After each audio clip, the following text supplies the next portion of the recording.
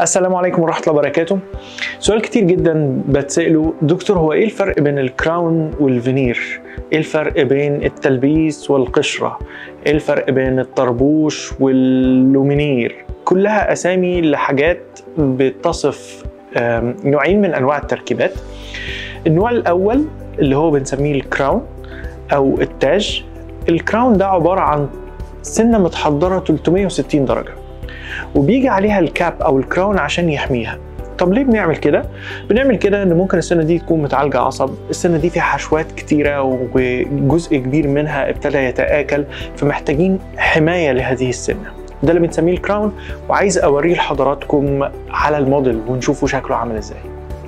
ده النوع الأول من التركيبات اللي بنسميه الكراون أو التاج زي ما حضراتكم شايفينه مجوف وعامل زي الكاب أو الغطاء اللي إحنا هنحطه فوق السن. طيب عشان أحط الكاب ده محتاج إن أنا أحضر السنة من كل الاتجاهات ويجي الكاب للحماية وقد يكون أيضا للتجميل ويتحط بالمنظر دوت. التركيبة من النوع الثاني اللي بنسميها قشرة الأسنان وظيفتها التجميل فقط يعني مش وظيفتها الحماية. وعادة بتيجي على السطح الخارجي للسنة عشان هي للتجميل.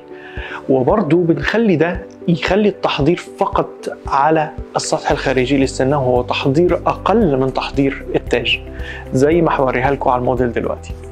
هنا القشرة أو النوع التاني من التركيبات وزي ما حضراتكم شايفين ده كان تحضير التاج وده تحضير القشرة. يعني إيه تحضير؟ يعني إن أنا بشيل بس من السطح الخارجي للسن بحيث إن يجي الفينير بالمنظر الجميل دوت.